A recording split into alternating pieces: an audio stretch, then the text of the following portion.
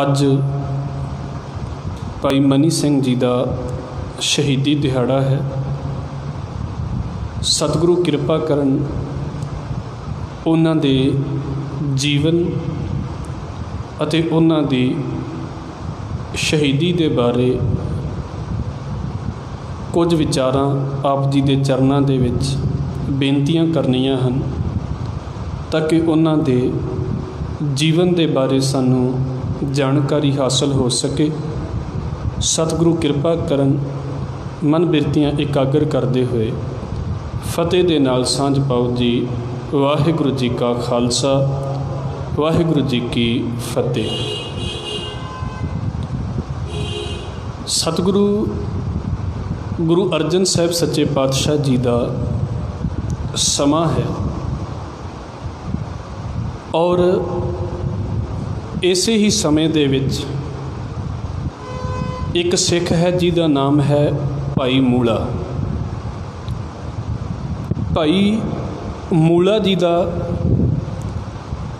ਇੱਕ ਬੇਟਾ ਹੈ ਔਰ ਇਧਰੋਂ ਗੁਰੂ ਹਰਗੋਬਿੰਦ ਸਾਹਿਬ ਮਹਾਰਾਜ ਜੀ ਦਾ ਸਮਾਂ ਆ ਜਾਂਦਾ ਹੈ। ਭਾਈ ਮੂਲੇ ਦਾ ਬੇਟਾ ਹੈ ਭਾਈ ਬੱਲੂ। ਭਾਈ ਬੱਲੂ ਦਾ ਅੱਗੇ ਬੇਟਾ ਹੈ ਮਾਈ ਦਾਸ ਤੇ ਮਾਈ ਦਾਸ ਦਾ ਅੱਗੇ ਜਿਹੜਾ ਬੇਟਾ ਹੈ ਉਹ ਹੈ ਭਾਈ ਮਨੀ ਸਿੰਘ, ਜਿਹਨੂੰ ਉਸ ਵੇਲੇ ਮਨੀ ਰਾਮ ਕਿਹਾ ਗਿਆ ਹੈ ਜਾਂ ਕਰਦਿਆਂ ਨੇ ਮਨੀਆਂ ਨਾਮ ਰੱਖਿਆ ਹੈ। ਇਹ ਜਿਹੜਾ ਪਰਿਵਾਰ ਹੈ, ਇਹਦਾ ਗੁਰੂ ਨਾਨਕ ਸਾਹਿਬ ਦੇ ਘਰ ਦੇ ਨਾਲ ਜਦੋਂ ਸਬੰਧ ਜੁੜਦਾ ਹੈ, ਤੇ ਵੈਸੇ ਇਹ ਪਰਿਵਾਰ ਰਾਜਸੀ ਤੌਰ ਦੇ ਉੱਤੇ ਬੜੀ ਵੱਡੀ ਹੈਸੀਅਤ ਰੱਖਦਾ ਹੈ। ਜਦੋਂ ਅਸੀਂ ਭਾਈ ਮਨੀ ਸਿੰਘ ਜੀ ਦੇ ਜੀਵਨ ਦੇ ਜਾਂ ਉਹਨਾਂ ਦੀ ਸ਼ਹੀਦੀ ਦੇ ਬਾਰੇ ਜੋ ਕਿਤਾਬ ਜੀਵਨ ਦੇ ਵਿੱਚ ਉਹਨਾਂ ਨੂੰ ਸਾਨੂੰ ਜਾਣਕਾਰੀ ਦਿੰਦੀ ਹੈ, ਸ਼ਹੀਦ ਬਿਲਾਸ, ਸੇਵਾ ਸਿੰਘ ਹੁਣਾਂ ਦੇ ਵੱਲੋਂ ਲਿਖਿਆ ਗਿਆ ਹੈ ਉਹਦੇ ਵਿੱਚ ਉਹਨਾਂ ਨੇ ਇਸ ਗੱਲ ਦਾ ਹਵਾਲਾ ਦਿੱਤਾ ਹੈ, ਇਹ ਜੋ ਵਿਚਾਰ ਹੈ ਲਗਭਗ ਸਾਰੀ ਉਹਨਾਂ ਦੀ ਵਿਚਾਰ ਦੇ ਵਿੱਚੋਂ ਹੀ ਹੈ ਕਿ ਭਾਈ ਮਾਈ ਦਾਸ ਆਪਣੇ ਸਮੇਂ ਦੇ ਵਿੱਚ, ਭਾਈ ਮਨੀ ਸਿੰਘ ਜੀ ਦੇ ਜਿਹੜੇ ਪਿਤਾ ਜੀ ਨੇ, ਆਪਣੇ ਸਮੇਂ ਦੇ ਵਿੱਚ ਅਕਬਰ ਬਾਦਸ਼ਾਹ ਨੂੰ ਮਿਲੇ ਨੇ। ਔਰ ਇਸੇ ਤਰ੍ਹਾਂ ਇਹਨਾਂ ਦੀ ਜਿਹੜੀ ਭੂਆ ਹੈ ਭਾਈ ਮਨੀ ਸਿੰਘ ਦੀ, ਉਹ ਜਹਾਂਗੀਰ ਨੂੰ ਮਿਲੀ ਹੈ।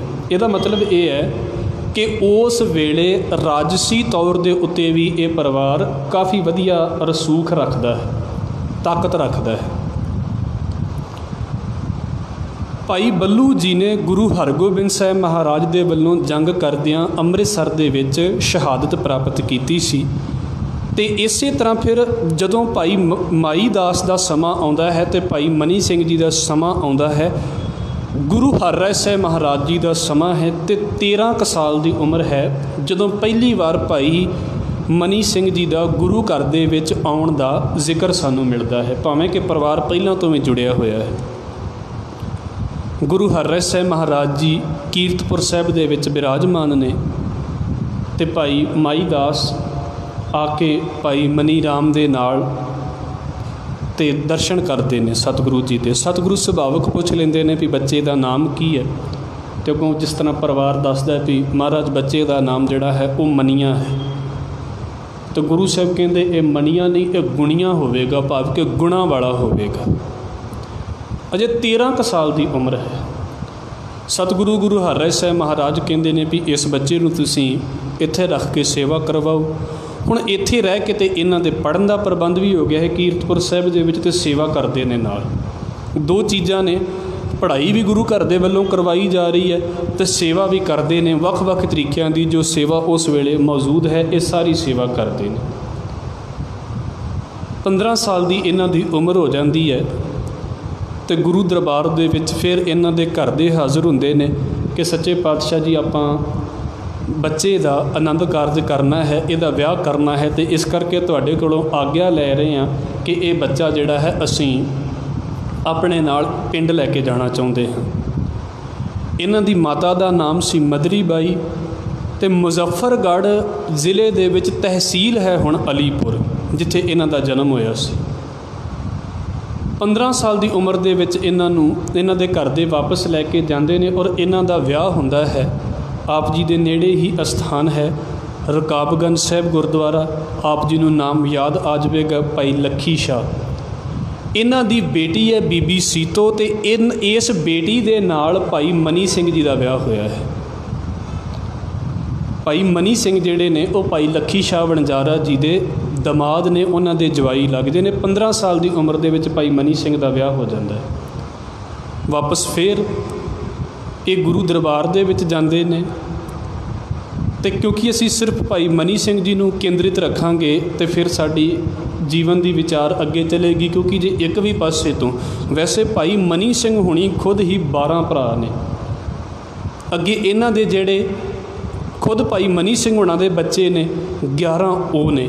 ਜੇ ਇਸ ਇਦਾਂ ਪਰਿਵਾਰ ਦੇ ਨਾਲ ਹਿਸਾਬ ਰੱਖਣ ਲੱਗੀਏ ਤੇ ਅਸੀਂ ਭਾਈ ਮਨੀ ਸਿੰਘ ਨੂੰ ਕੇਂਦਰਿਤ ਰੱਖ ਕੇ ਤੇ ਗੱਲ ਕਰਾਂਗੇ 20 ਸਾਲ ਦੀ ਇਹਨਾਂ ਦੀ ਜਦੋਂ ਉਮਰ ਹੁੰਦੀ ਹੈ, ਤੇ ਗੁਰੂ ਹਰਰਾਏ ਸਾਹਿਬ ਮਹਾਰਾਜ ਜੀ ਤੋਂ ਬਾਅਦ ਗੁਰੂ ਹਰਕ੍ਰਿਸ਼ਨ ਸਾਹਿਬ ਜਿਸ ਵੇਲੇ ਜੋਤੀ ਜੋਤ ਸਮਾਉਂਦੇ ਨੇ ਲਗਭਗ, ਇਹ ਉਹ ਸਮਾਂ ਬਣ ਜਾਂਦਾ ਹੈ।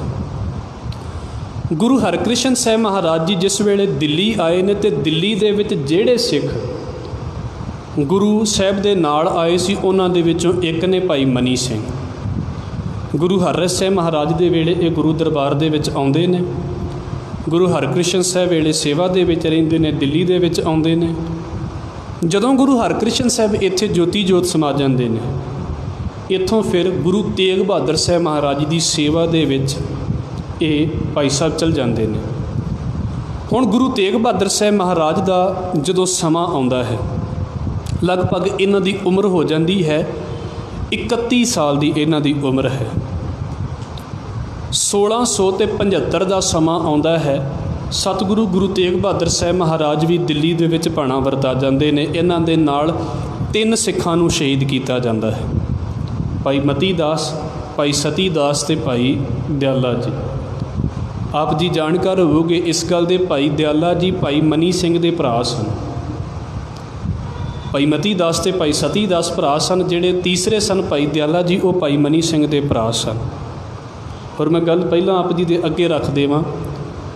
ਵੱਖ-ਵੱਖ ਥਾਵਾਂ ਦੇ ਉੱਤੇ ਹੋ ਸਕਦਾ ਗਿਣਤੀ ਘੱਟ ਵੱਧ ਹੋ ਜਾਵੇ, ਪਰ ਡਾਕਟਰ ਦਲਗੀਰ ਨੇ ਇਸ ਪਰਿਵਾਰ ਦੇ 56 ਜੀ 56 ਜਿਹੜੇ ਨੇ, ਉਹ ਮੈਂਬਰਾਂ ਦਾ ਜ਼ਿਕਰ ਕੀਤਾ ਹੈ, ਜਿਹੜੇ ਗੁਰੂ ਘਰ ਦੇ ਵੱਲੋਂ ਲੜਦੇ ਹੋਏ ਕਿਸੇ ਨਾ ਕਿਸੇ ਜੰਗ ਦੇ ਵਿੱਚ ਸ਼ਹੀਦ ਹੋਏ ਨੇ।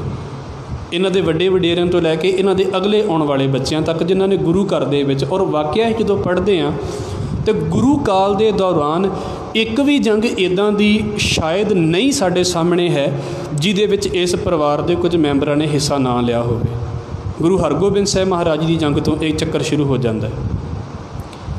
ਤੇ ਮੈਂ ਬੇਨਤੀ ਕਰ ਦੇਵਾਂ 31 ਸਾਲ ਦੀ ਉਮਰ ਦੇ ਵਿੱਚ ਗੁਰੂ ਤੇਗ ਬਹਾਦਰ ਸਾਹਿਬ ਮਹਾਰਾਜ ਜੀ ਜਦੋਂ ਭਾਈ ਮਨੀ ਸਿੰਘ ਦੀ ਉਮਰ ਉਸ ਵੇਲੇ 31 ਸਾਲ ਹੈ, ਜਦੋਂ ਗੁਰੂ ਤੇਗ ਬਹਾਦਰ ਸਾਹਿਬ ਮਹਾਰਾਜ ਜੋਤੀ ਜੋਤ ਸਮਾ ਜਾਂਦੇ ਨੇ ਇਸ ਦਿੱਲੀ ਦੇ ਵਿੱਚ।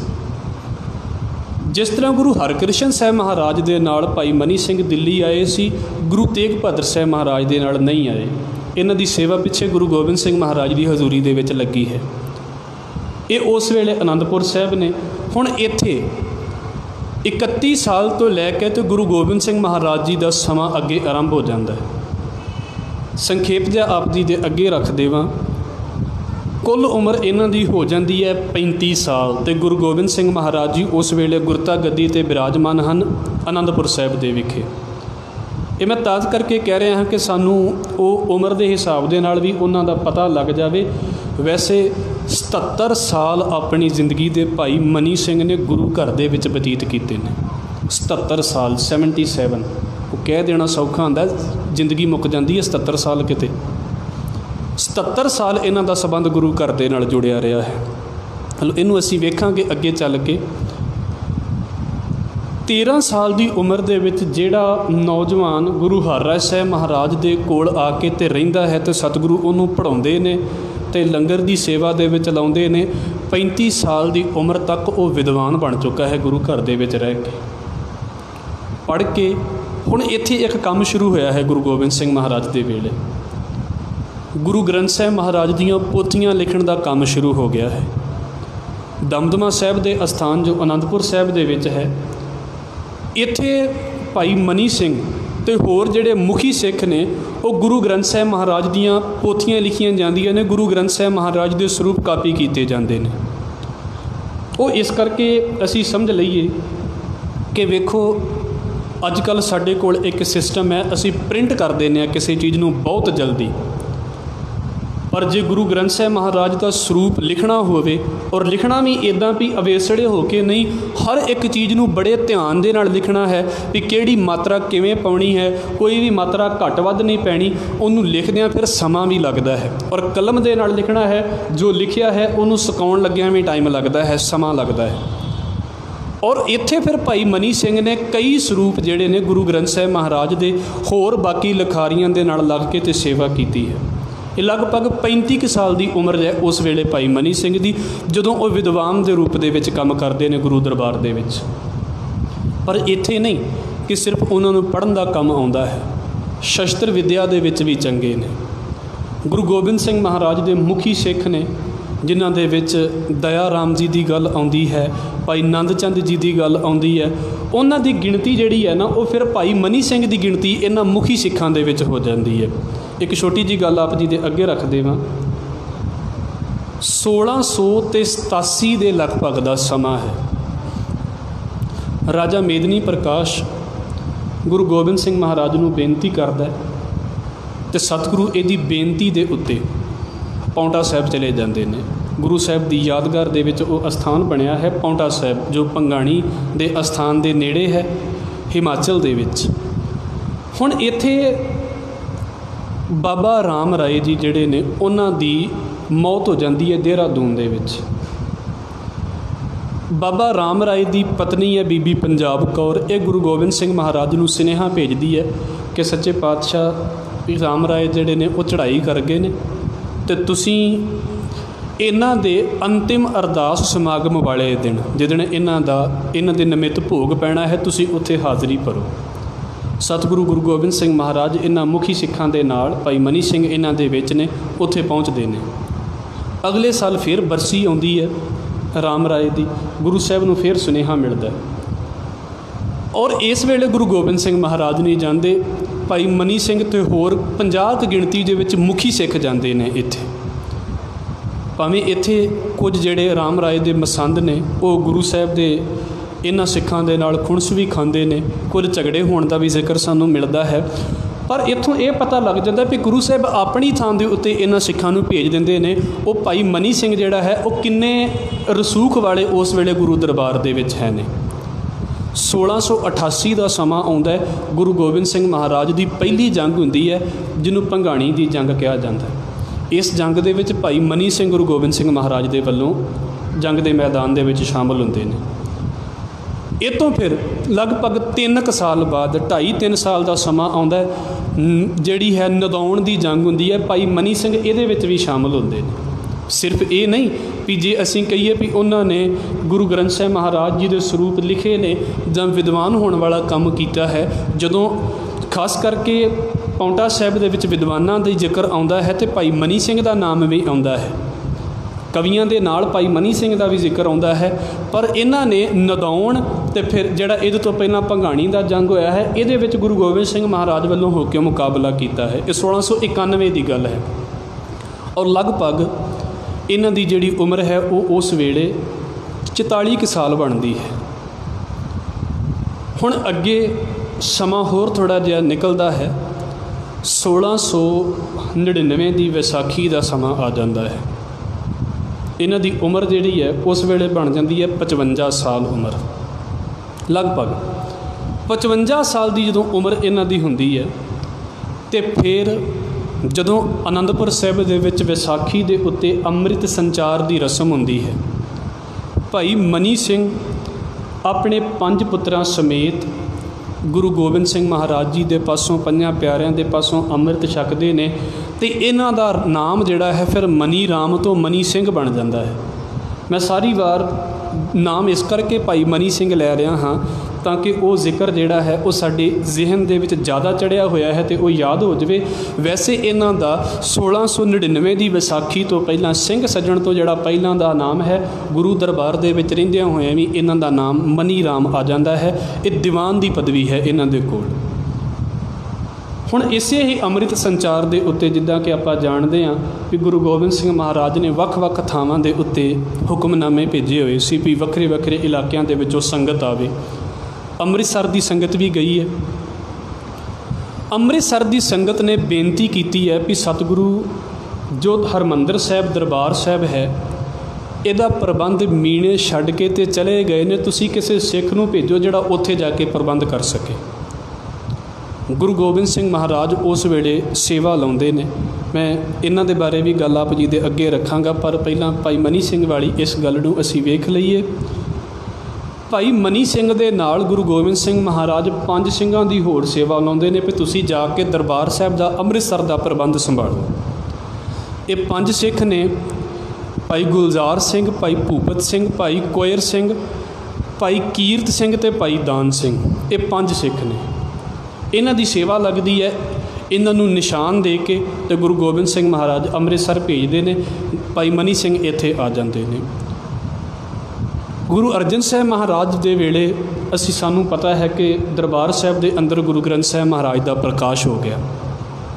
ਗੁਰੂ ਹਰਗੋਬਿੰਦ ਸਾਹਿਬ ਮਹਾਰਾਜ ਜੀ ਆਪਣਾ ਸਮਾਂ ਸ਼ੁਰੂ ਦੇ ਵਿੱਚ ਅੰਮ੍ਰਿਤਸਰ ਬਤੀਤ ਕਰਦੇ ਨੇ। ਬਾਅਦ ਦੇ ਵਿੱਚ ਉਹਨਾਂ ਦੀ ਜ਼ਿੰਦਗੀ ਦੇ ਜਿਹੜੇ ਅੰਤਿਮ ਸਾਲ ਨੇ, ਉਹ ਕੀਰਤਪੁਰ ਸਾਹਿਬ ਦੇ ਵਿੱਚ ਬੀਤੇ ਨੇ। ਔਰ ਇੱਥੋਂ ਦੇ ਹਵਾਲੇ ਸਾਨੂੰ ਜਿਹੜੇ ਸਾਡੇ ਸਾਹਮਣੇ ਆਉਂਦੇ ਨੇ ਕਿ ਸਭ ਤੋਂ ਪਹਿਲੇ ਗ੍ਰੰਥੀ ਬਾਬਾ ਬੁੱਢਾ ਸਾਹਿਬ, ਉਹਨਾਂ ਤੋਂ ਬਾਅਦ ਇਹ ਸੇਵਾ ਜਿਹੜੀ ਨਿਭਾਈ ਹੈ, ਉਹ ਭਾਈ ਗੁਰਦਾਸ ਸਾਹਿਬ ਨੇ ਨਿਭਾਈ ਨਿਭਾਈ ਹੈ, ਜਿਨ੍ਹਾਂ ਨੇ ਗੁਰੂ ਗ੍ਰੰਥ ਸਾਹਿਬ ਮਹਾਰਾਜ ਦਾ ਸਰੂਪ ਲਿਖਿਆ ਗੁਰੂ ਅਰਜਨ ਸਾਹਿਬ ਮਹਾਰਾਜ ਦੇ ਵੇਲੇ ਉਹਦੇ ਤੋਂ ਬਾਅਦ ਜਿਹੜਾ ਕੁਝ ਸਮੇਂ ਦਾ ਵਿੱਚ ਖਲਾ ਆਉਂਦਾ ਹੈ, ਤੇ ਇਹ ਤੀਸਰੇ ਨੰਬਰ ਦੇ ਉੱਤੇ ਸੇਵਾ ਜਿਹੜੀ ਹੈ ਲਗਭਗ 1699 ਦੇ ਨੇੜੇ ਇਹ ਸੇਵਾ ਫਿਰ ਭਾਈ ਮਨੀ ਸਿੰਘ ਦੇ ਕੋਲ ਆ ਜਾਂਦੀ ਹੈ। ਔਰ ਇਹਨਾਂ ਜਿਹੜਾ ਸਮਾਂ ਹੈ, ਉਹ ਦਰਬਾਰ ਸਾਹਿਬ ਦਾ ਵਿਚਲਾ ਪ੍ਰਬੰਧ ਜਿਹੜਾ ਹੈ, ਉਹ ਬਾਬਾ ਪ੍ਰਿਥੀ ਚੰਦ ਦੇ ਪਰਿਵਾਰ ਵਾਲਿਆਂ ਦੇ ਕੋਲ ਰਹਿੰਦਾ ਹੈ, ਜਿਨ੍ਹਾਂ ਨੂੰ ਮੀਣੇ ਕਿਹਾ ਜਾਂਦਾ ਹੈ। ਇਹ ਕੀ ਕਰਦੇ ਨੇ ਕਿ ਜਿਸ ਤਰ੍ਹਾਂ ਸਾਡੀ ਰਿਵਾਇਤ ਦੇ ਵਿੱਚ ਗੁਰੂ ਅਰਜਨ ਸਾਹਿਬ ਮਹਾਰਾਜ ਤੋਂ ਬਾਅਦ ਅਗਲੇ ਗੁਰੂ ਗੁਰੂ ਹਰਗੋਬਿੰਦ ਸਾਹਿਬ ਮਹਾਰਾਜ ਨੂੰ ਮੰਨਿਆ ਜਾਂਦਾ ਹੈ। ਇਹ ਗੁਰੂ ਹਰਗੋਬਿੰਦ ਸਾਹਿਬ ਮਹਾਰਾਜ ਨੂੰ ਗੁਰੂ ਨਹੀਂ ਸੀ ਮੰਨਦੇ। ਇਹ ਮੰਨਦੇ ਸੀ, ਗੁਰੂ ਅਰਜਨ ਸਾਹਿਬ ਤੋਂ ਬਾਅਦ ਮਿਹਰਬਾਨ, ਮਾਫ ਕਰਨਾ ਪ੍ਰਿਥੀ ਚੰਦ ਪ੍ਰਿਥੀ ਚੰਦ ਦਾ ਅੱਗੇ ਪੁੱਤਰ ਸੀ ਮਿਹਰਬਾਨ, ਤੇ ਇਹ ਮਿਹਰਬਾਨ ਨੂੰ ਮੰਨਦੇ ਨੇ, ਮਿਹਰਬਾਨ ਦਾ ਅੱਗੇ ਪੁੱਤਰ ਹੈ ਹਰਜੀ। ਇਹ ਅੱਗੋਂ ਫਿਰ ਹਰਜੀ ਨੂੰ ਮੰਨਦੇ ਨੇ, ਇਹ ਗੁਰੂ ਪਰੰਪਰਾ ਦੇ ਵਿੱਚ ਆਪਣਾ ਪਰਿਵਾਰ ਅੱਗੇ ਲੈ ਕੇ ਜਾਂਦੇ ਨੇ। ਔਰ ਇਸ ਕਰਕੇ ਦਰਬਾਰ ਸਾਹਿਬ ਦੇ ਉੱਤੇ ਕੁਝ ਸਮਾਂ ਅੰਮ੍ਰਿਤਸਰ ਦੇ ਵਿੱਚ ਇਹ ਟਿਕੇ ਵੀ ਰਹਿੰਦੇ ਨੇ। ਹਰਜੀ ਦੀ ਮੌਤ ਹੁੰਦੀ ਹੈ ਲਗਭਗ 1600 ਤੇ 96 ਦੇ ਲਾਗੇ। ਅੰਮ੍ਰਿਤ ਸੰਚਾਰ ਤੋਂ 2-3 ਸਾਲ ਪਹਿਲਾਂ ਦਾ ਇਹ ਸਮਾਂ ਹੈ। ਹਰਜੀ ਦੀ ਮੌਤ ਹੋ ਜਾਂਦੀ ਹੈ। ਇਹ ਸੰਗਤ ਤਿੰਨ ਹਿੱਸਿਆਂ ਦੇ ਵਿੱਚ ਵੰਡੀ ਜਾਂਦੀ ਹੈ। ਉਹਨਾਂ ਦੀ, ਸੋਢੀਆਂ ਦੀ ਸੰਗਤ ਤਿੰਨ ਹਿੱਸਿਆਂ ਦੇ ਵਿੱਚ ਵੰਡੀ ਜਾਂਦੀ ਹੈ। ਹੁਣ ਇਹਨਾਂ ਦੀ ਆਪਸ ਦੇ ਵਿੱਚ ਜਦੋਂ ਸੰਗਤ ਵੰਡੀ ਗਈ ਜਾਂ ਕਿਸੇ ਕਾਰਨ ਕਰਕੇ ਸੰਗਤ ਇਹਨਾਂ ਦੇ ਨਾਲ ਜੁੜਨੋਂ ਹਟ ਗਈ ਤੇ ਇਹ ਅੰਮ੍ਰਿਤਸਰ ਦਾ ਅਸਥਾਨ ਛੱਡ ਕੇ ਤੇ ਚਲੇ ਜਾਂਦੇ ਨੇ। ਇਸ ਕਰਕੇ ਗੁਰੂ ਗੋਬਿੰਦ ਸਿੰਘ ਮਹਾਰਾਜ ਦੇ ਕੋਲ ਅੰਮ੍ਰਿਤਸਰ ਦੇ ਸਿੱਖਾਂ ਨੇ ਬੇਨਤੀ ਕੀਤੀ ਸੀ ਵੀ ਤੁਸੀਂ ਕਿਸੇ ਸਿੱਖ ਨੂੰ ਉੱਥੇ ਭੇਜੋ। ਹੁਣ ਭਾਈ ਮਨੀ ਸਿੰਘ ਉੱਥੇ ਚਲੇ ਜਾਂਦੇ ਨੇ ਔਰ ਇੱਥੋਂ ਦੇ ਹਵਾਲੇ ਵੀ ਸਾਡੇ ਕੋਲ ਨੇ। ਅੰਮ੍ਰਿਤਸਰ ਰਹਿੰਦਿਆਂ ਹੋਇਆਂ ਵੀ ਗੁਰੂ ਗੋਬਿੰਦ ਸਿੰਘ ਮਹਾਰਾਜ ਨੂੰ ਵਿੱਚੋਂ ਵਿੱਚੋਂ ਇਹ ਆਨੰਦਪੁਰ ਸਾਹਿਬ ਮਿਲਣ ਆਉਂਦੇ ਨੇ। ਇਹ ਘਟਨਾ ਦਾ ਜ਼ਿਕਰ ਮੈਂ ਆਪ ਜੀ ਦੇ ਨਾਲ ਕਰ ਦੇਵਾਂ। 1699 ਦੀ ਵਿਸਾਖੀ ਤੋਂ ਅਗਲਾ ਸਾਲ 1700 ਅਨੰਦਪੁਰ ਸਾਹਿਬ ਦੇ ਉੱਤੇ ਪਹਿਲਾ ਹਮਲਾ ਹੁੰਦਾ ਹੈ। ਇਸ ਹਮਲੇ ਨੂੰ ਤੁਸੀਂ ਜਾਣਦੇ ਹੋਵੋਗੇ, ਜਿਸ ਵੇਲੇ ਮਸਤ ਹਾਥੀ ਨੇ ਆਨੰਦਪੁਰ ਸਾਹਿਬ ਦੇ ਅੰਦਰ ਲੋਹਗੜ੍ਹ ਦਾ ਜਿਹੜਾ ਗੇਟ ਸੀ, ਮੁੱਖ ਦਰਵਾਜ਼ਾ ਸੀ, ਉਹ ਤੋੜਨਾ ਸੀ। ਤੇ ਸਤਿਗੁਰੂ ਕਹਿੰਦੇ ਸੀ ਕਿ ਭਾਈ ਦੁਨੀ ਚੰਦ ਮੁਕਾਬਲਾ ਕਰੇਗਾ। ਦੁਨੀ ਚੰਦ ਨੇ ਮੁਕਾਬਲਾ ਨਹੀਂ ਕੀਤਾ ਤੇ ਉਸ ਵੇਲੇ ਮੁਕਾਬਲਾ ਕੀਤਾ ਹੈ ਭਾਈ ਬਚਿੱਤਰ ਸਿੰਘ ਤੇ ਭਾਈ ਉਦੈ ਸਿੰਘ ਨੇ। ਭਾਈ ਬਚਿੱਤਰ ਸਿੰਘ, ਭਾਈ ਮਨੀ ਸਿੰਘ ਦਾ ਬੇਟਾ ਹੈ, ਭਾਈ ਉਦੈ ਸਿੰਘ ਵੀ ਭਾਈ ਮਨੀ ਸਿੰਘ ਦਾ ਬੇਟਾ ਹੈ। ਭਾਈ ਬਚਿੱਤਰ ਸਿੰਘ ਨੇ ਮਸਤ ਹਾਥੀ ਦਾ ਮੁਕਾਬਲਾ ਕੀਤਾ ਹੈ ਤੇ ਭਾਈ ਉਦੈ ਸਿੰਘ ਨੇ ਉਸੇ ਵੇਲੇ ਹੀ ਫਿਰ ਰਾਜੇ ਕੇਸਰੀ ਚੰਦ ਦਾ ਸਿਰ ਲਾਇਆ ਹੈ। ਇਹਨਾਂ ਦੋਵਾਂ ਭਰਾਵਾਂ ਨੇ ਇਸ ਜੰਗ ਦੇ ਮੈਦਾਨ ਦੇ ਵਿੱਚ ਹਿੱਸਾ ਲਿਆ ਹੈ। ਭਾਈ ਮਨੀ ਸਿੰਘ ਦਾ ਵੀ ਜ਼ਿਕਰ ਆਉਂਦਾ ਵੀ ਉਹ ਇਸ ਵੇਲੇ ਇੱਥੇ ਸਨ। ਫਿਰ ਇਸ ਵੇਲੇ ਇੱਕ ਵਾਰ ਪਹਿਲਾਂ ਗੁਰੂ ਸਾਹਿਬ ਆਨੰਦਪੁਰ ਛੱਡਦੇ ਨੇ। ਭਾਈ ਮਨੀ ਸਿੰਘ ਉਸ ਵੇਲੇ ਵੀ ਗੁਰੂ ਸਾਹਿਬ ਦੇ ਨਾਲ ਜੋ ਨਿਰਮੋਹੀ ਦਾ ਇਲਾਕਾ ਹੈ, ਗੁਰੂ ਗੋਬਿੰਦ ਸਿੰਘ ਮਹਾਰਾਜ ਇਧਰਲੇ ਪਾਸੇ ਆਉਂਦੇ ਨੇ। ਕਹਿਣ ਦਾ ਭਾਵ ਇਹ ਹੈ ਕਿ ਵਿਚਲੇ ਵਿਚਲੇ ਸਮੇਂ ਦੇ ਵਿੱਚ ਜਿੱਥੇ ਅੰਮ੍ਰਿਤਸਰ ਦਾ ਇਹ ਪ੍ਰਬੰਧ ਸੰਭਾਲਦੇ ਨੇ, ਉੱਥੇ ਭਾਈ ਮਨੀ ਸਿੰਘ ਜਿਹੜੇ ਨੇ ਉਹ ਸਮਾਂ ਕੱਢ ਕੇ ਤੇ ਅਨੰਦਪੁਰ ਸਾਹਿਬ ਵੀ ਸਤਿਗੁਰੂ ਜੀ ਦੇ ਦਰਸ਼ਨ ਕਰਨ ਦੇ ਲਈ ਆਉਂਦੇ ਨੇ ਤੇ ਫਿਰ ਇੱਥੋਂ ਦਾ ਪ੍ਰਬੰਧ ਵੇਖ ਕੇ ਤੇ ਉਹ ਗੁਰੂ ਸਾਹਿਬ ਦੀ ਆਗਿਆ ਦੇ ਅਨੁਸਾਰ ਅੰਮ੍ਰਿਤਸਰ ਦਾ ਪ੍ਰਬੰਧ ਕਰਦੇ ਨੇ। 1700 ਤੇ 4 ਦੇ ਵਿੱਚ ਜਦੋਂ ਅਨੰਦਪੁਰ ਸਾਹਿਬ ਸੱਚੇ ਪਾਤਸ਼ਾਹ ਜੀ ਛੱਡ ਦਿੰਦੇ ਨੇ। ਅਨੰਦਪੁਰ ਸਾਹਿਬ ਤੋਂ ਬਾਅਦ ਮੁਕਤਸਰ ਸਾਹਿਬ ਦੀ ਜੰਗ ਹੋ ਜਾਂਦੀ ਹੈ। ਗੁਰੂ ਗੋਬਿੰਦ ਸਿੰਘ ਮਹਾਰਾਜ ਜੀ ਆਪਣਾ ਟਿਕਾਣਾ ਦਮਦਮਾ ਸਾਹਿਬ, ਸਾਬੋ ਕੀ ਤਲਵੰਡੀ ਜੋ ਹੁਣ ਪੰਜਵਾਂ ਤਖਤ ਮੰਨਿਆ ਜਾਂਦਾ ਹੈ। ਗੁਰੂ ਗੋਬਿੰਦ ਸਿੰਘ ਮਹਾਰਾਜ ਇੱਥੇ ਟਿਕ ਜਾਂਦੇ ਨੇ। ਉਸ ਵੇਲੇ ਭਾਈ ਮਨੀ ਸਿੰਘ ਅੰਮ੍ਰਿਤਸਰ ਨੇ ਇੱਥੋਂ ਵੀ ਸਿੱਖਾਂ ਨੂੰ ਹੁਕਮਨਾਮੇ ਭੇਜੇ ਜਾਂਦੇ ਨੇ। ਜਦੋਂ ਸਿੱਖਾਂ ਨੂੰ ਪਤਾ ਲੱਗਦਾ ਕਿ ਗੁਰੂ ਸਾਹਿਬ ਦਮਦਮਾ ਸਾਹਿਬ ਟਿਕੇ ਹੋਏ ਨੇ, ਭਾਈ ਮਨੀ ਸਿੰਘ ਆਪਣੇ ਮੁਖੀ ਸਿੱਖਾਂ ਦੇ ਨਾਲ ਫਿਰ ਅਮ ਇੱਥੇ ਦਮਦਮਾ ਸਾਹਿਬ ਆ ਕੇ ਅੰਮ੍ਰਿਤਸਰ ਤੋਂ ਤੇ ਗੁਰੂ ਗੋਬਿੰਦ ਸਿੰਘ ਮਹਾਰਾਜ ਦੇ ਦਰਸ਼ਨ ਕਰਦੇ ਨੇ। ਗੁਰੂ ਗੋਬਿੰਦ ਸਿੰਘ ਮਹਾਰਾਜ ਜੋ ਪ੍ਰਚਲਿਤ ਰਵਾਇਤ ਹੈ ਕਿ ਲਗਭਗ 9 ਮਹੀਨੇ ਦਮਦਮਾ ਸਾਹਿਬ ਟਿਕੇ ਨੇ। ਭਾਈ ਮਨੀ ਸਿੰਘ ਨੇ ਇੱਥੇ ਆ ਕੇ ਤੇ ਫਿਰ ਕੁਝ ਜਿਹੜਾ ਸਾਹਿਤਕ ਕੰਮ ਹੈ ਲਿਟਰਰੀ ਵਰਕ ਹੈ, ਇੱਥੋਂ ਇੱਕ ਹਵਾਲਾ ਜਿਹੜਾ ਆ ਜਾਂਦਾ ਹੈ ਕਿ ਗੁਰੂ ਗੋਬਿੰਦ ਸਿੰਘ ਮਹਾਰਾਜ ਨੇ ਗੁਰੂ ਗ੍ਰੰਥ ਸਾਹਿਬ ਮਹਾਰਾਜ ਜੀ ਦੇ ਅਰਥ ਜਿਹੜੇ ਸੀ, ਉਹ ਸਿੱਖਾਂ ਨੂੰ ਕਰਕੇ ਸੁਣਾਏ ਸਨ। ਔਰ ਜਿਹੜੇ ਸਿੱਖਾਂ ਨੂੰ ਅਰਥ ਕਰਕੇ ਸੁਣਾਏ ਸੀ, ਉਹਨਾਂ ਸਿੱਖਾਂ ਦੇ ਵਿੱਚ ਜਿਹੜੇ ਅਰਥ ਸੁਣਦੇ ਪਏ ਸੀ, ਉਹਨਾਂ ਦੇ ਵਿੱਚੋਂ ਇੱਕ ਸਿੱਖ ਭਾਈ ਮਨੀ ਸਿੰਘ ਵੀ ਸੀ। ਗੁਰੂ ਗ੍ਰੰਥ ਸਾਹਿਬ ਮਹਾਰਾਜ ਦੀਆਂ ਪੋਥੀਆਂ ਲਿਖਣ ਦਾ ਕੰਮ ਇਸ ਦਮਦਮਾ ਸਾਹਿਬ ਦੇ ਅੰਦਰ ਵੀ ਹੋਇਆ ਹੈ। ਇਹਦੇ ਤੋਂ ਪਹਿਲਾਂ ਇੱਕ ਦਮਦਮਾ ਸਾਹਿਬ ਆਨੰਦਪੁਰ ਸਾਹਿਬ ਹੈ, ਜਿੱਥੇ ਇਹ ਕੰਮ ਹੁੰਦਾ ਰਿਹਾ ਹੈ ਗੁਰੂ ਗੋਬਿੰਦ ਸਿੰਘ ਮਹਾਰਾਜ ਦੇ ਵੇਲੇ। ਸਤਿਗੁਰੂ ਜੀ ਆਪਣੇ ਮੁਖੀ ਸਿੱਖਾਂ ਦੇ ਨਾਲ ਵਿਚਾਰ ਕਰਦੇ ਨੇ ਤੇ ਦਾਤਾਰ ਇਹ ਦੱਸਦੇ ਨੇ ਕਿ ਸਾਡਾ ਦੱਖਣ ਵੱਲ ਜਾਣ ਦਾ ਇਰਾਦਾ ਹੈ। ਜਿੱਦਾਂ ਆਪਾਂ ਸਾਰੇ ਜਾਣਦੇ ਹਾਂ ਕਿ ਸਤਿਗੁਰੂ ਉੱਥੇ ਚੱਲ ਕੇ ਬਾਬਾ ਬੰਦਾ ਸਿੰਘ ਬਹਾਦਰ ਨੂੰ ਮਿਲਦੇ ਨੇ। ਭਾਈ ਮਨੀ ਸਿੰਘ ਬਘੌਰ ਦਾ ਇੱਕ ਇਲਾਕਾ ਹੈ। ਇੱਥੋਂ ਤੱਕ ਗੁਰੂ ਸਾਹਿਬ ਦੇ ਨਾਲ ਜਾਂਦੇ ਨੇ, ਫਿਰ ਇਹ ਵਾਪਸ ਅੰਮ੍ਰਿਤਸਰ ਆ ਜਾਂਦੇ ਨੇ। ਹੁਣ 1708 ਦਾ ਸਮਾਂ ਆਉਂਦਾ ਹੈ 7 ਅਕਤੂਬਰ ਤੇ 1708 ਗੁਰੂ ਗੋਬਿੰਦ ਸਿੰਘ ਸੱਚੇ ਪਾਤਸ਼ਾਹ ਜੀ ਜੋਤੀ ਜੋਤ ਸਮਾ ਜਾਂਦੇ ਨੇ। ਹੁਣ ਉਸ ਵੇਲੇ, ਕਿਉਂਕਿ ਇੱਕ ਤਾਂ ਗੁਰੂ ਸਾਹਿਬ ਦੱਖਣ ਦੇ ਵਿੱਚ ਨੇ ਦੂਸਰਾ, ਅਜੇ ਬਾਬਾ ਬੰਦਾ ਸਿੰਘ ਬਹਾਦਰ ਪੰਜਾਬ ਦੇ ਵਿੱਚ ਪ੍ਰਗਟ ਨਹੀਂ ਹੋਏ ਕਿਉਂਕਿ ਗੁਰੂ ਗੋਬਿੰਦ ਸਿੰਘ ਮਹਾਰਾਜ ਨੇ 1708 ਦੇ ਵਿੱਚ ਉਹਨਾਂ ਨੂੰ ਜੇ ਭੇਜਿਆ ਹੈ ਤੇ ਉਹਨਾਂ ਨੂੰ ਪ੍ਰਗਟ ਹੁੰਦਿਆਂ ਵੀ ਘਟੋ ਘਟ ਆਪਣੀ ਤਾਕਤ ਫੜਦਿਆਂ ਵੀ ਕੁਝ ਸਮਾਂ ਲੱਗਾ ਹੈ। ਇੱਥੇ ਪਹੁੰਚਦਿਆਂ ਵੀ ਸਮਾਂ ਲੱਗਾ ਹੈ। 1709 ਦੀ ਵਿਸਾਖੀ ਆਉਂਦੀ ਹੈ ਗੁਰੂ ਗੋਬਿੰਦ ਸਿੰਘ ਮਹਾਰਾਜ ਤੋਂ ਅਗਲੇ ਸਾਲ ਦੀ ਵਿਸਾਖੀ, ਜਦੋਂ ਉਹ ਜੋਤੀ ਜੋਤ ਸਮਾਏ ਨੇ। ਤਰੀਕਾ ਮੈਂ ਇਸ ਕਰਕੇ ਅੱਗੇ ਰੱਖੀ ਜਾ ਰਿਹਾ ਕਿ ਸਾਨੂੰ ਸਾਲ ਬਾਏ ਸਾਲ ਜਿਹੜਾ ਹੈ ਉਹ ਪਤਾ ਲੱਗ ਜਾਵੇ, ਉਹ ਫਿਰ ਉਹ ਲੜੀ ਟੁੱਟਦੀ ਨਹੀਂ ਹੈ ਇਸ ਪਾਸੇ ਤੋਂ। ਇੱਕ ਤੇ ਇਹ ਸੀ ਕਿ ਵਿਸਾਖੀ ਪਹਿਲਾਂ ਲੱਗਦੀ ਹੁੰਦੀ ਸੀ ਤੇ ਸੰਗਤਾਂ ਕਿਤੇ ਇਹ ਨਾ ਸੋਚਣ ਵੀ ਗੁਰੂ ਸਾਹਿਬ ਤੋਂ ਬਾਅਦ ਵਿਸਾਖੀ ਦਾ ਪ੍ਰਬੰਧ ਨਹੀਂ ਹੋ ਸਕਿਆ। ਸੰਗਤਾਂ ਨੂੰ ਮਾਇੂਸੀ ਤੋਂ ਬਚਾਉਣ ਦੇ ਲਈ ਵਿਸਾਖੀ ਦਾ ਇਕੱਠ ਕੀਤਾ ਗਿਆ ਸੀ। ਭਾਈ ਮਨੀ ਸਿੰਘ ਦੇ ਵੱਲੋਂ ਇਹ ਇਕੱਠ ਜਿਹੜਾ ਹੈ, ਉਹ ਅੰਮ੍ਰਿਤਸਰ ਦੇ ਵਿੱਚ ਕੀਤਾ ਗਿਆ। ਔਰ ਇਹ ਇਕੱਠ ਲਗਭਗ 10 ਦਿਨ 15 ਦਿਨ ਚੱਲਦਾ ਸੀ, ਉਦੋਂ ਇਕੱਠ ਐਡਾ ਲੰਮਾ ਹੀ ਚੱਲਦਾ ਸੀ। ਤੁਸੀਂ ਹੁਣ ਵੀ ਅਨੰਦਪੁਰ ਸਾਹਿਬ ਵੇਖੋਗੇ ਤੇ ਵਿਸਾਖੀ ਦਾ ਦਿਨ ਤੇ ਭਾਵੇਂ ਇੱਕ ਵਿਸਾਖੀ ਹੈ ਪਰ ਜਿਹੜਾ ਇਕੱਠ ਹੈ, ਉਹ ਲਗਭਗ 6-7 ਦਿਨ ਅਜੇ ਵੀ ਚੱਲਦਾ ਹੈ, ਭਾਵੇਂ ਕਿ ਸਾਡੇ ਕੋਲ ਸਹੂਲਤਾਂ ਬੜੀਆਂ ਵਧੀਆ ਹੋ ਗਈਆਂ ਨੇ। ਉਦੋਂ 10-15 ਦਿਨ ਲਗਾਤਾਰ ਇਹ ਜਿਹੜਾ ਇਕੱਠ ਹੈ, ਸੰਗਤ ਆਉਂਦੀ ਜਾਂਦੀ ਰਹਿੰਦੀ ਸੀ ਔਰ ਉਸ ਵੇਲੇ ਜਿਹੜੇ ਸਿੱਖ ਨੇ, ਉਹ ਉੱਥੇ ਇਕੱਠੇ ਹੋਏ ਨੇ। ਇਹ ਇਸ ਕਰਕੇ ਜ਼ਿਕਰ ਆਪ ਜੀ ਦੇ ਨਾਲ ਮੈਂ ਕਰਾਂਗਾ ਕਿ 1700 ਤੇ 10 ਦਾ ਸਮਾਂ ਆਉਂਦਾ ਹੈ, ਜਦੋਂ ਸਰਹੰਦ ਜਿੱਤੀ ਜਾਂਦੀ ਹੈ। ਤੇ ਇਹ 1709 ਦੀ ਗੱਲ ਹੈ, ਅਜੇ ਬਾਬਾ ਬੰਦਾ ਸਿੰਘ ਬਹਾਦਰ ਪ੍ਰਗਟ ਨਹੀਂ ਹੋਏ ਪੰਜਾਬ ਦੇ ਵਿੱਚ। ਅਜੇ ਉਹਨਾਂ ਨੇ ਤਾਕਤ ਨਹੀਂ ਫੜੀ। ਇੱਥੇ ਅੰਮ੍ਰਿਤਸਰ ਦੇ ਵਿੱਚ ਇਹਨਾਂ ਸੋਢੀਆਂ ਦਾ ਇੱਕ ਚੇਲਾ ਹੈ, ਜਿਨ੍ਹਾਂ ਦੇ ਬਾਰੇ ਅਸੀਂ ਪਹਿਲਾਂ ਗੱਲ ਕਰ ਚੁੱਕੇ ਹਾਂ ਵੀ ਇਹ ਅੰਮ੍ਰਿਤਸਰ ਛੱਡ ਕੇ ਤੇ ਕਿਸੇ ਹੋਰ ਥਾਂ ਦੇ ਉੱਤੇ ਚਲੇ ਗਏ ਨੇ। ਹੁਣ ਇਹਨਾਂ ਦਾ ਇੱਕ ਚੇਲਾ ਹੈ, ਉਹਦਾ ਨਾਮ ਹੈ ਚੂੜਮਲ। ਇਹਦਾ ਅੱਗੇ ਬੇਟਾ ਹੈ ਰਾਮੂਮਲ, ਇਹ ਅੰਮ੍ਰਿਤਸਰ ਟਿਕਿਆ ਹੈ। ਤੇ ਇੱਥੇ ਜਦੋਂ ਸਿੱਖ ਪਹੁੰਚਦੇ ਨੇ ਵਿਸਾਖੀ ਦੇ ਉੱਤੇ, ਤੇ ਇੱਕ ਨਿਗੁਣੀ ਜੀ ਗੱਲ ਦੇ ਉੱਤੇ, ਕਿਉਂਕਿ ਇਹ ਖੁੰਦਕ ਖਾਂਦਾ ਸੀ ਸਿੱਖਾਂ ਦੇ ਨਾਲ, ਸਿਰਫ ਤੂਤਾਂ ਤੋਂ ਇੱਕ ਲੱਕੜ ਹੁੰਦੀ ਹੈ ਦਰਖਤ ਹੁੰਦਾ ਹੈ ਤੂਤ ਦਾ, ਉਹਨਾਂ ਤੋਂ ਸਿੱਖਾਂ ਦੀ ਤੇ ਇਸ ਚੂੜਮਲ ਦੇ ਬੇਟੇ ਰਾਮੂ ਰਾਮੂਮਲ ਦੀ ਆਪਸ ਦੇ ਵਿੱਚ ਕੋਈ ਗੱਲਬਾਤ ਹੋ ਗਈ। ਝਗੜਾ ਜ਼ਿਆਦਾ ਵੱਧ ਗਿਆ। ਭਾਈ ਮਨੀ ਸਿੰਘ ਵਰਗੇ ਸਿੱਖਾਂ ਨੇ, ਮੁਖੀ ਸਿੱਖਾਂ ਨੇ ਨਾਲ ਲੈ ਕੇ ਤੇ ਝਗੜਾ ਨਿਪਟਾਉਣ ਦੀ ਕੋਸ਼ਿਸ਼ ਵੀ ਕੀਤੀ, ਪਰ ਇਹ ਚਾਹੁੰਦਾ ਸੀ ਵੀ ਮੈਂ ਝਗੜਾ ਖਤਮ ਨਹੀਂ ਕਰਾਂਗਾ।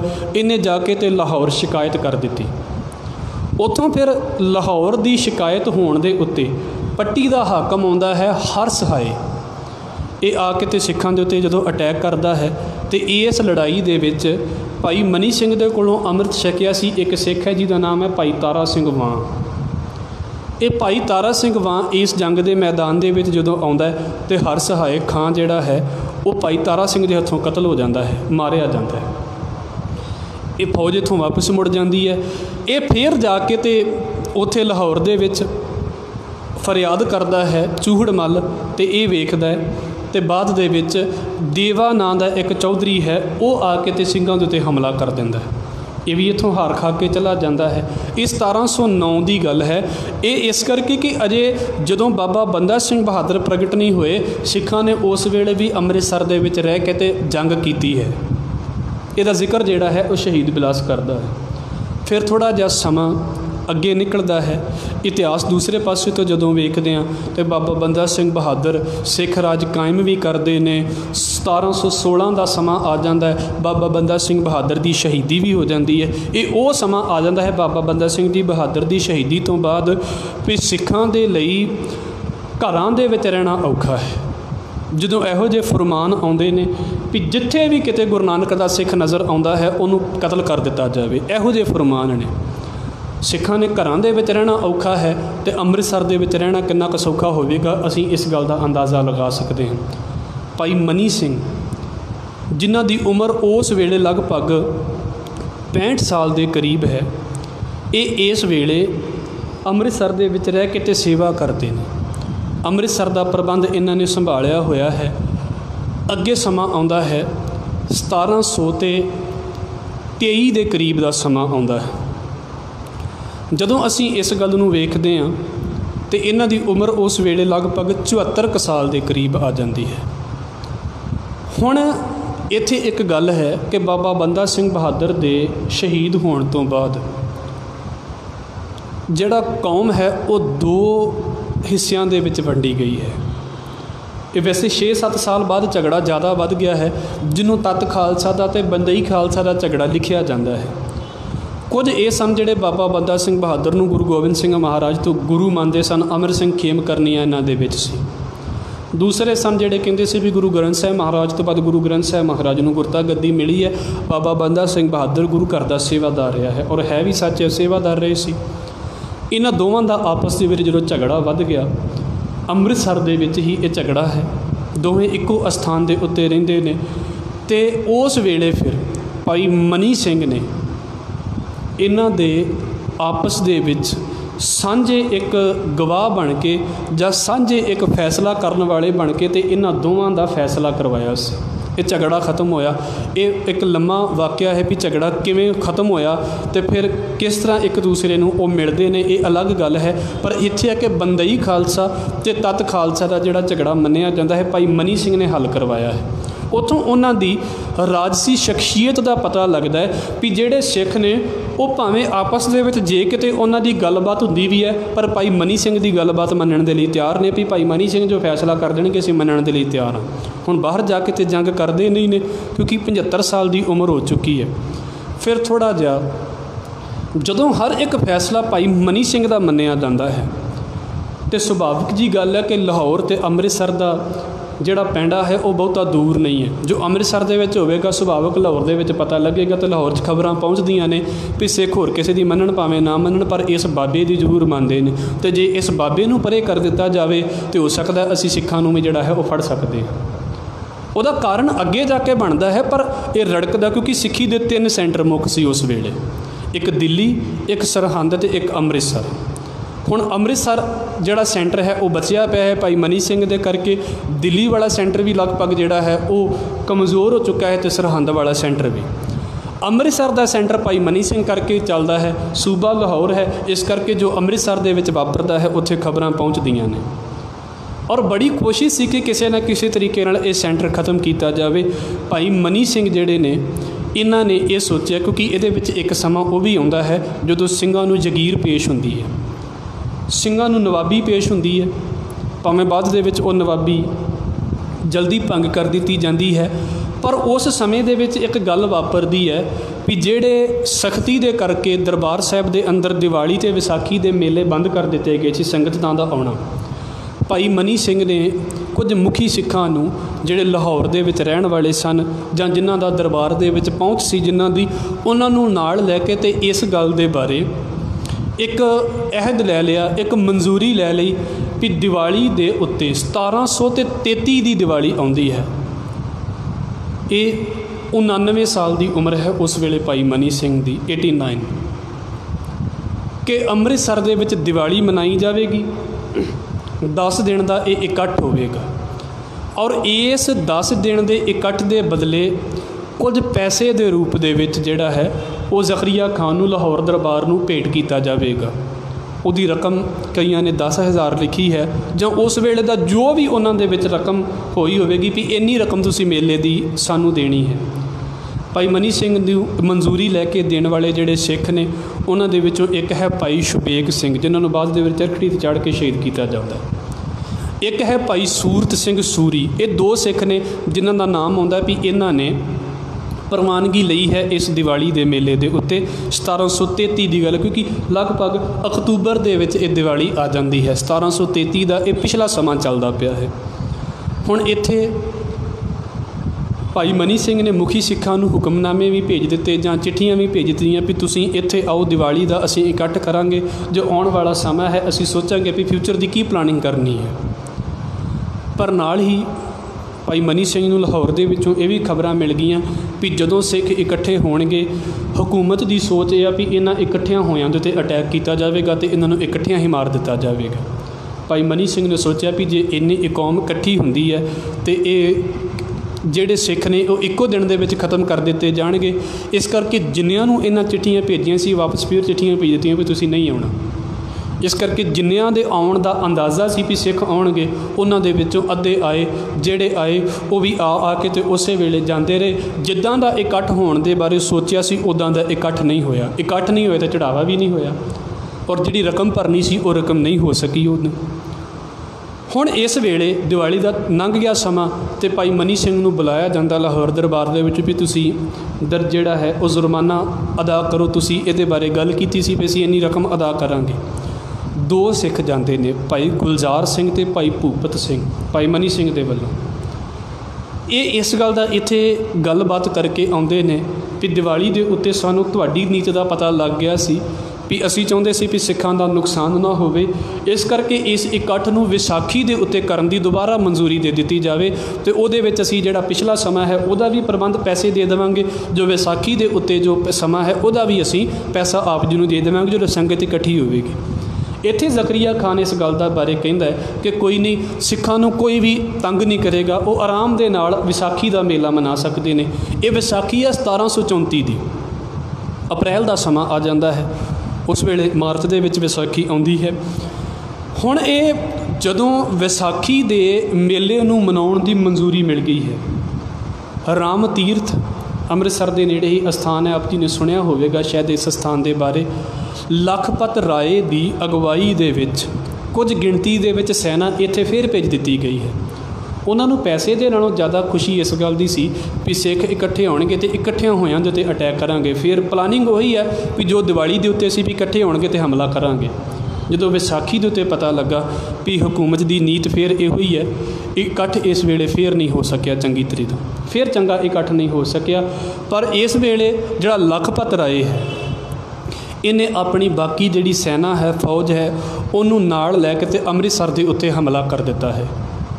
ਕੇਸ਼ਰ ਸਿੰਘ ਸ਼ਿਬਰ ਇਤਿਹਾਸ ਲਿਖਾਰੀ ਨੇ ਇਹਨਾਂ ਨੇ ਬੰਸਾਵਲੀ ਨਾਮਾ ਲਿਖਿਆ ਹੈ। ਇਤਿਹਾਸ ਦੇ ਬਾਰੇ ਕੁਝ ਵਾਕਿਆਤ ਲਿਖੇ ਨੇ। ਉਹ ਕਹਿੰਦੇ ਨੇ ਵੀ ਜਦੋਂ ਅੰਮ੍ਰਿਤਸਰ ਦੇ ਵਿੱਚ ਸਿੱਖਾਂ ਦੇ ਉੱਤੇ ਹਮਲਾ ਹੋਇਆ ਸੀ, ਅਸੀਂ ਖੁਦ ਵੀ ਉਸ ਵੇਲੇ ਸੀ, ਭਾਵੇਂ ਉੱਥੇ ਹਾਜ਼ਰ ਸੀ। ਸਾਡੀ ਉਮਰ ਛੋਟੀ ਸੀ, ਉਸ ਵੇਲੇ ਆਪਣੇ ਪਿਤਾ ਦੇ ਨਾਲ ਇਸ ਮੰਜ਼ਰ ਨੂੰ ਵੇਖਿਆ ਹੈ। ਔਰ ਉੱਥੇ ਲਿਖਦੇ ਨੇ ਵੀ ਜਦੋਂ ਲਖਪਤ ਰਾਏ ਦੀ ਫੌਜ ਨੇ ਅੰਮ੍ਰਿਤਸਰ ਹਮਲਾ ਕੀਤਾ ਸੀ, ਜਿੰਨੇ ਵੀ ਸਿੱਖ ਸੀ, ਜਿਹੜੇ ਜਿਉਂਦੇ ਫੜੇ ਗਏ ਜਾਂ ਉਸ ਵੇਲੇ ਫੜੇ ਗਏ, ਸਾਰਿਆਂ ਤੋਂ ਪਹਿਲਾਂ ਤੇ ਉਹਨਾਂ ਦੇ ਜਿਹੜੇ ਸ਼ਸਤਰ ਸੀ ਉਹ ਫੜੇ ਗਏ, ਫਿਰ ਉਹਨਾਂ ਨੂੰ ਇੱਕ ਕਤਾਰ ਦੇ ਵਿੱਚ ਲਾ ਕੇ ਤੇ ਕਤਲ ਕਰ ਦਿੱਤਾ ਗਿਆ। ਜਿੰਨੇ ਵੀ ਸਿੱਖ ਅੰਮ੍ਰਿਤਸਰ ਉਸ ਵੇਲੇ ਫੜੇ ਗਏ ਕਿਉਂਕਿ ਬਹੁਤੇ ਸਿੱਖ ਆਏ ਨਹੀਂ ਸੀ, ਭਾਈ ਮਨੀ ਸਿੰਘ ਦੇ ਵੱਲੋਂ ਮੋੜ ਦਿੱਤੇ ਗਏ ਸੀ। ਉਹ ਜਿਹੜੇ ਸਿੱਖ ਕਤਲ ਹੋਏ ਨੇ, ਬੜਾ ਵੱਡਾ ਇੱਥੇ ਵੀ ਜਿਹੜਾ ਹੈ, ਉਹ ਕਤਲਾਮ ਹੋਇਆ ਸਿੱਖਾਂ ਦਾ। ਭਾਈ ਮਨੀ ਸਿੰਘ ਇਥੋਂ ਗ੍ਰਿਫਤਾਰ ਕਰ ਲਏ ਜਾਂਦੇ ਨੇ। ਪਰ ਭਾਈ ਮਨੀ ਸਿੰਘ ਇਕੱਲੇ ਨਹੀਂ ਗ੍ਰਿਫਤਾਰ ਹੁੰਦੇ। ਇਹਨਾਂ ਦੇ ਨਾਲ ਹੋਰ ਵੀ ਜਿਹੜੇ ਕੁਝ ਸਿੱਖ ਨੇ, ਉਹ ਗ੍ਰਿਫਤਾਰ ਹੁੰਦੇ ਨੇ। ਲਾਹੌਰ ਦੇ ਵਿੱਚ ਪਹੁੰਚ ਕੇ ਤੇ ਇਹਨਾਂ ਦੇ ਉੱਤੇ ਫਿਰ ਉਹੀ ਗੱਲਬਾਤ ਦਾ ਅਸੀਂ ਕਹਿ ਸਕਦੇ ਹਾਂ ਇੱਕ ਮੁਕੱਦਮਾ ਚੱਲਦਾ ਹੈ। ਵੀ ਤੁਸੀਂ ਕਿਹਾ ਸੀ ਵੀ ਅਸੀਂ ਇੰਨੇ ਪੈਸੇ ਭਰਾਂਗੇ, ਤੁਸੀਂ ਪੈਸੇ ਭਰੋ। ਭਾਈ ਮਨੀ ਸਿੰਘ ਕਹਿੰਦੇ ਨੇ ਵੀ ਪੈਸੇ ਤੇ ਅਸੀਂ ਤਾਂ ਭਰਦੇ ਜੇ ਮੇਲਾ ਤੁਸੀਂ ਚੰਗੀ ਤਰ੍ਹਾਂ ਹੋਣ ਦਿੰਦੇ। ਤੁਹਾਡੀ ਨੀਤ ਜਿਹੜੀ ਆ ਉਹ ਇਸ ਗੱਲ ਦੀ ਖੋਟੀ ਹੈ ਵੀ ਤੁਸੀਂ ਪੈਸਾ ਵੀ ਲੈਣਾ ਚਾਹੁੰਦੇ ਹੋ, ਪਰ ਤੁਸੀਂ ਇਕੱਠ ਵੀ ਨਹੀਂ ਹੋਣ ਦੇਣਾ ਚਾਹੁੰਦੇ। ਤੇ ਅਸੀਂ ਨਹੀਂ ਚਾਹੁੰਦੇ ਵੀ ਕਿਸੇ ਤਰੀਕੇ ਨਾਲ ਕੌਮ ਦਾ ਨੁਕਸਾਨ ਹੋਵੇ। ਇਹਨਾਂ ਨੇ ਕਿਉਂਕਿ ਭਾਈ ਮਨੀ ਸਿੰਘ ਦੇ ਵਿਰੁੱਧ ਸ਼ਿਕਾਇਤਾਂ ਬਹੁਤ ਚਲੀਆਂ ਗਈਆਂ ਸੀ ਵੀ ਇਹਨੂੰ ਖਤਮ ਕਰਨਾ ਜ਼ਰੂਰੀ ਹੈ। ਇਹ 90 ਸਾਲ ਦਾ ਬਜ਼ੁਰਗ ਹੈ, ਇਹਦੀ ਸਾਰੇ ਜਾਣੇ ਗੱਲ ਮੰਨਦੇ ਨੇ ਔਰ ਮੰਨਦੇ ਵੀ ਸੀ ਕਿਉਂਕਿ ਬਹੁਤ ਪੁਰਾਣੇ ਸਮੇਂ ਤੋਂ ਗੁਰੂ ਘਰ ਦੇ ਨਾਲ ਜੁੜੇ ਹੋਏ ਸੀ, ਬੜੀ ਸਤਿਕਾਰਤ ਹਸਤੀ ਸੀ। ਭਾਈ ਮਨੀ ਸਿੰਘ ਨੂੰ ਇਸ ਕੇਸ ਦੇ ਵਿੱਚ ਜਾਂ ਇਸ ਗੱਲ ਦੇ ਉੱਤੇ ਜਿਹੜੀ ਸਜ਼ਾ ਸੁਣਾਈ ਗਈ ਸੀ, ਉਹ ਬੰਦ-ਬੰਦ ਕੱਟਣ ਦੀ ਸੁਣਾਈ ਗਈ ਸੀ। ਬੰਦ-ਬੰਦ ਕੱਟਣ ਦਾ ਭਾਵ ਹੈ, ਬੰਦ ਅਰਸ ਮਤਲਬ ਹੁੰਦਾ ਹੈ ਟੁਕੜਾ। ਭਾਵ ਕਿ ਸਰੀਰ ਦੇ ਟੁਕੜੇ ਟੁਕੜੇ ਕੀਤੇ ਜਾਣਗੇ। ਕਿੱਡਾ ਸੌਖਾ ਹੈ ਇਸ ਗੱਲ ਨੂੰ ਬੋਲ ਦੇਣਾ ਵੀ ਟੁਕੜੇ ਟੁਕੜੇ ਕੀਤੇ ਗਏ। ਅਰਦਾਸ ਦੇ ਵਿੱਚ ਮੈਂ ਵੀ ਕਈ ਵਾਰ ਬੋਲਦਾ ਬੰਦ-ਬੰਦ ਕਟਾਏ। ਮਾੜਾ ਜਿਹਾ ਕਿਤੇ ਸੱਟ ਲੱਗ ਜਾਵੇ ਤੇ ਵੇਖੋ ਕਈ ਕਈ ਦਿਨ ਅਸੀਂ ਹੱਥ ਫੜ ਛੱਡਦੇ ਹਾਂ ਤੇ ਜਿਹੜਾ ਬੰਦਿਆਂ ਦਾ ਘੱਟੋ ਘੱਟ ਕੌਨਸ਼ੀਅਸ ਜਦੋਂ ਬੰਦਾ ਹੈ, ਜੇ ਉਹਦੇ ਹੱਥ ਤੇ ਸੱਟ ਲੱਗਦੀ ਹੈ, ਬਾਹ ਤੱਕ ਸੱਟ ਲੱਗਦੀ ਹੈ, ਤੇ ਉਦੋਂ ਤੱਕ ਜਦੋਂ ਤੱਕ ਜੀਵਤ ਹੈ, ਫਿਰ ਵੇਖੋ ਉਹਦਾ ਪੇਨ ਕਿੰਨਾ ਹੈ, ਦਰਦ ਕਿੰਨਾ ਹੈ ਉਸ ਚੀਜ਼ ਦਾ। ਔਰ ਇਹ ਨਹੀਂ, ਜੇ ਆਖਰੀ ਹਿੱਸਾ ਕੱਟਿਆ ਜਾ ਰਿਹਾ ਹੈ, ਤੇ ਉੱਤੇ ਉੱਤੇ ਪਹੁੰਚਦਿਆਂ ਹਰ ਵਾਰ ਉਹਨਾਂ ਦਰਦ ਹੈ, ਜਦੋਂ ਤੱਕ ਘੱਟੋ ਘੱਟ ਖੂਨ ਨਹੀਂ ਖਤਮ ਹੋ ਜਾਂਦਾ ਤੇ ਜਦੋਂ ਤੱਕ ਬੰਦੇ ਦੀ ਜਿਹੜੀ ਕੌਨਸ਼ੀਅਸਨੈਸ ਹੈ, ਉਹ ਨਹੀਂ ਖਤਮ ਹੋ ਜਾਂਦੀ। ਉਦੋਂ ਤੱਕ ਘੱਟੋ ਘੱਟ ਦਰਦ ਹੈ ਔਰ ਕਿੰਨੇ ਤਸੀਹੇ ਦਿੱਤੇ ਜਾ ਰਹੇ ਨੇ। ਨਖਾਸ ਚੌਂਕ ਲਾਹੌਰ ਦੇ ਵਿੱਚ ਚੁਣਿਆ ਗਿਆ ਹੈ। ਇਸ ਥਾਂ ਦੇ ਉੱਤੇ ਇਹਨਾਂ ਦੇ ਬੰਦ-ਬੰਦ ਕੱਟੇ ਗਏ ਨੇ। ਔਰ ਸਿਰਫ ਇਹੀ ਨਹੀਂ, ਡਾਕਟਰ ਦਲਗੀਰ ਨੇ ਜਿਹੜੇ ਇਹਨਾਂ ਦੇ ਨਾਲ ਸੱਤ ਹੋਰ ਸਿੱਖਾਂ ਦਾ ਜ਼ਿਕਰ ਕੀਤਾ ਹੈ, ਜਿਨ੍ਹਾਂ ਦੇ ਵਿੱਚ ਭਾਈ ਭੂਪਤ ਸਿੰਘ ਹੈ, ਭਾਈ ਗੁਲਜ਼ਾਰ ਸਿੰਘ, ਭਾਈ ਰਣ ਸਿੰਘ, ਭਾਈ ਜਗਤ ਸਿੰਘ ਭਾਈ ਸੰਗਤ ਸਿੰਘ ਤੇ ਇਹਨਾਂ ਦੇ ਇੱਕ ਬੇਟੇ ਨੇ ਭਾਈ ਚਿੱਤਰ ਸਿੰਘ ਤੇ ਇੱਕ ਸਿੱਖ ਹੋਰ ਹੈ ਭਾਈ ਗੁਰਬਖਸ਼ ਸਿੰਘ। ਇਹ ਸੱਤ ਸਿੱਖ ਜਿਹੜੇ ਨੇ, ਇਹ ਇਹਨਾਂ ਦੇ ਨਾਲ ਉਸ ਵੇਲੇ ਸ਼ਹੀਦ ਕੀਤੇ ਜਾਂਦੇ ਨੇ। ਔਰ ਭਾਈ ਭੂਪਤ ਸਿੰਘ ਜਿਹੜੇ ਸੀ, ਇਹਨਾਂ ਨੂੰ ਇਹਨਾਂ ਦੀਆਂ ਅੱਖਾਂ ਕੱਢ ਕੇ ਤੇ ਚਰਖੜੀ ਤੇ ਚੜਾਇਆ ਗਿਆ ਸੀ। ਭਾਈ ਮਨੀ ਸਿੰਘ ਦੇ ਨਾਲ ਇਹਨਾਂ ਦੀ ਸ਼ਹੀਦੀ ਹੁੰਦੀ ਹੈ। ਅੱਖਾਂ ਕੱਢ ਕੇ ਇਹਨਾਂ ਨੂੰ ਚਰਖੜੀ ਤੇ ਚੜਾਇਆ ਗਿਆ ਔਰ ਦੂਸਰੇ ਪਾਸੇ ਜਿਹੜੇ ਦੂਸਰੇ ਸਿੱਖ ਸੀ ਭਾਈ ਗੁਲਜ਼ਾਰ ਸਿੰਘ। ਇਹਨਾਂ ਦੀ ਉਸ ਵੇਲੇ ਖਲ ਲਾਈ ਗਈ ਹੈ। ਪੁੱਠੀ ਖਲ ਇਹਨਾਂ ਦੀ ਲਾਈ ਗਈ ਹੈ। ਇਹ ਭਾਈ ਮਨੀ ਸਿੰਘ ਦੇ ਨਾਲ ਸ਼ਹੀਦ ਹੋਣ ਵਾਲੇ ਸਿੱਖ ਨੇ। ਇਹ 1734 ਦਾ ਵਾਕਿਆ ਹੈ। ਜੂਨ ਦੇ ਵਿੱਚ ਇਹ ਵੈਸੇ ਵਾਕਿਆ ਵਾਪਰਿਆ ਹੈ ਕਿਉਂਕਿ ਮਾਰਚ ਦੇ ਵਿੱਚ ਵਿਸਾਖੀ ਦਾ ਸਮਾਂ ਲੰਘਦਾ ਹੈ ਤੇ ਅਪ੍ਰੈਲ ਦਾ ਸਮਾਂ, ਮਈ ਦਾ ਸਮਾਂ, ਇਹ ਇਸ ਝਗੜੇ ਦੇ ਵਿੱਚ ਜਾਂ ਇਸ ਕੇਸ ਦੀ ਪੈਰਵਾਈ ਕਰਦਿਆਂ, ਗ੍ਰਿਫਤਾਰੀ ਕਰਦਿਆਂ ਇਹ ਸਮਾਂ ਲੰਘਦਾ ਹੈ ਤੇ 1734 ਦੇ ਵਿੱਚ ਇਹ ਜਿਹੜਾ ਹੈ ਭਾਈ ਮਨੀ ਸਿੰਘ ਜੀ ਸ਼ਹੀਦੀ ਪ੍ਰਾਪਤ ਕਰਦੇ ਨੇ। 1700 ਮਾਫ ਕਰਨਾ 1644 ਦੇ ਵਿੱਚ 1644 ਦੇ ਵਿੱਚ ਇਹਨਾਂ ਦਾ ਜਨਮ ਹੋਇਆ ਹੈ ਤੇ 13 ਸਾਲ ਦੀ ਉਮਰ ਦੇ ਵਿੱਚ ਇਹ ਗੁਰੂ ਘਰ ਦੇ ਨਾਲ ਜੁੜੇ ਨੇ। 90 ਸਾਲ ਦੀ ਉਮਰ ਤੱਕ ਇਹ ਗੁਰੂ ਘਰ ਦੀ ਸੇਵਾ ਦੇ ਵਿੱਚ ਰਹੇ ਨੇ ਤੇ 77 ਸਾਲ ਦਾ ਇਹ ਸਮਾਂ ਬਣ ਜਾਂਦਾ ਹੈ, ਜਿਸ ਵੇਲੇ ਭਾਈ ਮਨੀ ਸਿੰਘ ਆਪਣੇ ਪ੍ਰਾਣ ਜਿਹੜੇ ਨੇ ਉਹ ਗੁਰੂ ਘਰ ਦੇ ਵਿੱਚ ਆਪਣਾ ਆਪਾ ਅਰਪਣ ਕਰ ਦਿੰਦੇ ਨੇ। ਔਰ ਮੈਂ ਬੇਨਤੀ ਕਰ ਦੇਵਾਂ, ਇਹਨਾਂ ਦੇ ਪਰਿਵਾਰ ਦੇ ਅੱਗੇ ਚੱਲ ਕੇ ਵੀ, ਗੁਰੂ ਦਰਬਾਰ ਤੋਂ ਬਾਅਦ ਵੀ, ਗੁਰੂ ਸਮ, ਗੁਰੂ ਕਾਲ ਤੋਂ ਬਾਅਦ ਵੀ ਜਿਹੜੀਆਂ ਜੰਗਾਂ ਹੋਈਆਂ ਨੇ ਨਾ, ਇਹਨਾਂ ਦੇ ਪਰਿਵਾਰ ਨੇ ਵੱਧ ਚੜ ਕੇ ਹਿੱਸਾ ਲਿਆ ਹੈ। ਇਹ ਮਹਾਨ ਸੂਰਮੇ ਨੇ, ਜਿਨ੍ਹਾਂ ਨੇ ਆਪਣੀਆਂ ਜ਼ਿੰਦਗੀਆਂ ਗੁਰੂ ਘਰਾਂ ਦੇ ਵਿੱਚ ਲਗਾਈਆਂ ਨੇ। ਇਹਨਾਂ ਤੋਂ ਅਸੀਂ ਸਿੱਖ ਸਕੀਏ, ਆਪਣੇ ਬੱਚਿਆਂ ਨੂੰ ਇਹਦੇ ਬਾਰੇ ਵੱਧ ਤੋਂ ਵੱਧ ਜਾਣਕਾਰੀ ਦੇ ਸਕੀਏ। ਜੋ ਬਾਣੀ ਪੜਨ ਦਾ ਔਰ ਬਾਣੀ ਪੜ੍ਹ ਕੇ ਨਾਲ ਸੇਵਾ ਦੀ ਤਤਪਰਤਾ ਜਿਹੜੀ ਹੈ, ਉਹ ਅਸੀਂ ਇਹਨਾਂ ਚੀਜ਼ਾਂ ਦੇ ਵਿੱਚੋਂ ਸਿੱਖ ਸਕਦੇ ਹਾਂ। ਸੰਖੇਪ ਦੇ ਰੂਪ ਦੇ ਵਿੱਚ ਭਾਈ ਮਨੀ ਸਿੰਘ ਜੀ ਦਾ ਜੀਵਨ ਆਪ ਜੀ ਦੇ ਅੱਗੇ ਰੱਖਣ ਦੀ ਇਹ ਕੋਸ਼ਿਸ਼ ਕੀਤੀ ਹੈ। ਮੇਰੇ ਪਾਸੋਂ ਬੋਲਦਿਆਂ ਹੋਈਆਂ ਭੁੱਲਾਂ ਦੀ ਖਿਮਾ, ਫਤਿਹ ਨਾਲ ਸਾਂਝ ਪਾਓ ਜੀ। ਵਾਹਿਗੁਰੂ ਜੀ ਕਾ ਖਾਲਸਾ, ਵਾਹਿਗੁਰੂ ਜੀ ਕੀ ਫਤਿਹ।